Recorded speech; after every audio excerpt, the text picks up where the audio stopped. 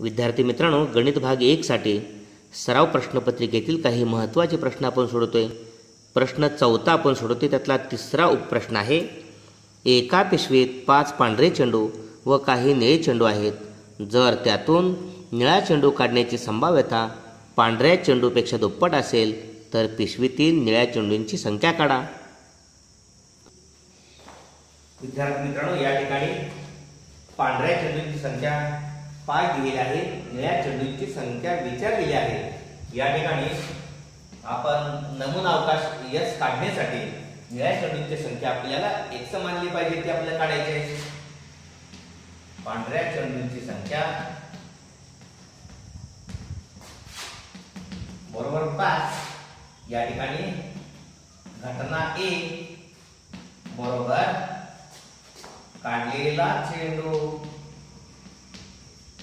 काढलेला चेंडू पांढऱ्या रंगाचा असणे. या ठिकाणी नंबर ऑफ ए बरोबर पाच. आणि घटना बी काढलेला चेंडू निळ्या रंगाचा असणे.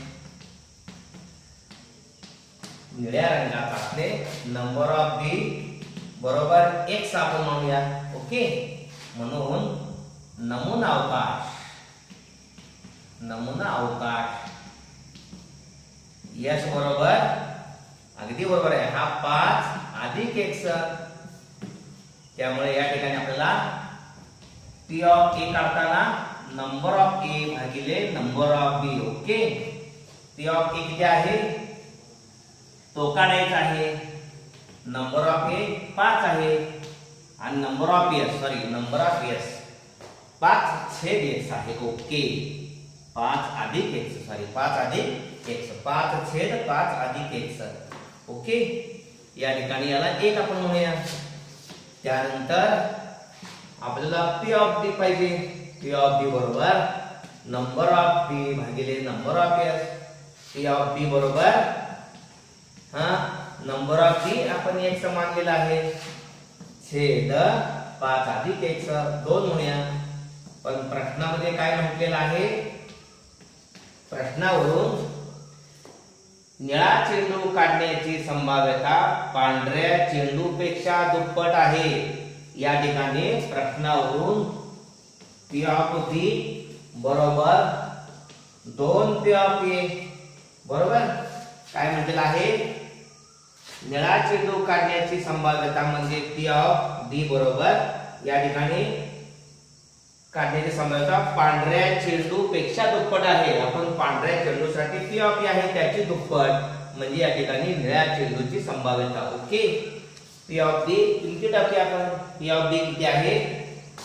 एक्स छेद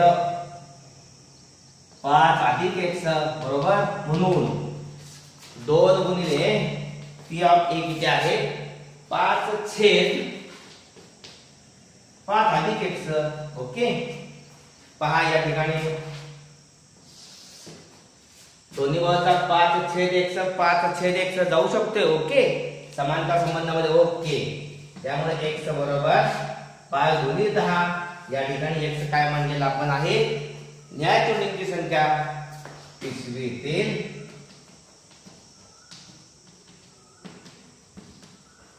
निळ्या चेंडूंची संख्या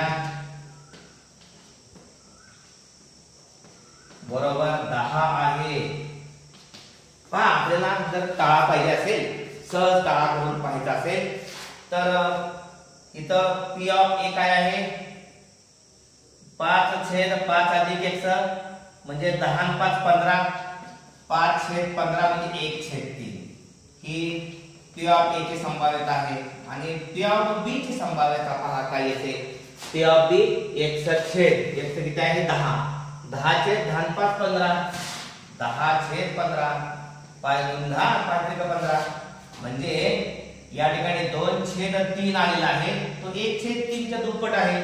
ओके? म्हणजे पी ऑफ ए हा पी ऑफ ए च्या दुप्पट आहे ओके म्हणजे आपण काढलेल्या चेंडूंची संख्या निळ्या संख्या दहा आहे. हे उत्तर अचूक आहे. समजलं?